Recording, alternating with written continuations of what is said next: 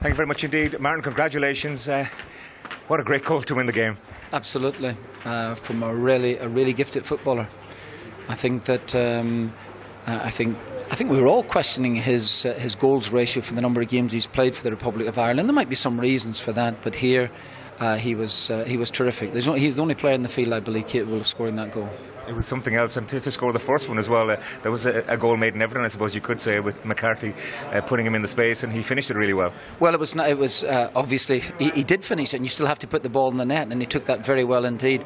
I think that probably gave him a big uh, boost of confidence as well too. Like even gifted players need a bit of a, a bit of a lift, but um, that goal just towards the end of the game when I thought, you know, th- I thought maybe the win had gone beyond us at that stage. The last thing you want to do is also lose the game in the last minute or two from a match that you in terms of possession, we probably dominated by a great deal.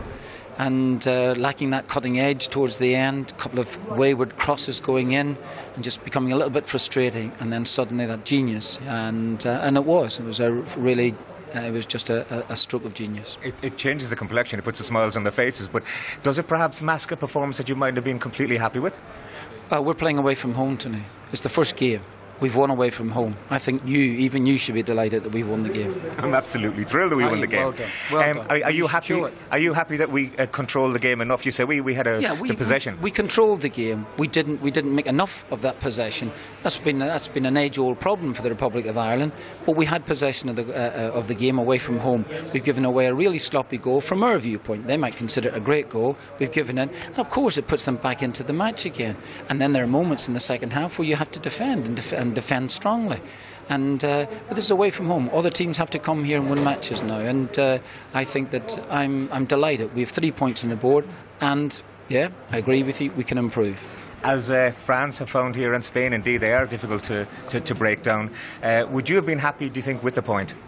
Well, as the game was uh, as the game was going on, I, have just said to you, the last thing you want if you're going into the last four or five minutes of the match, to make sure you don't lose the game.